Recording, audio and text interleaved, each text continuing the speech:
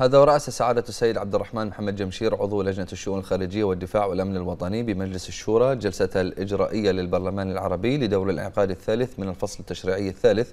وأكد أن أعضاء البرلمان يمارسون اختصاصاتهم من أجل تعزيز العمل العربي المشترك.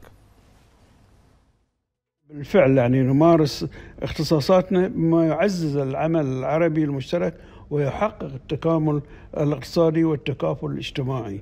والتنمية المستدامة وصولا إلى تحقيق الوحدة العربية. فهذا المجال يعني واسع ونستطيع عن طريق التعاون مع زملائنا في البرلمانات العربية الأخرى في التواصل وفي نفس الوقت تقريب وجهات النظر وتعزيز الأمن القومي العربي وخلق آه، بيئة صالحة للعمل العربي المشترك.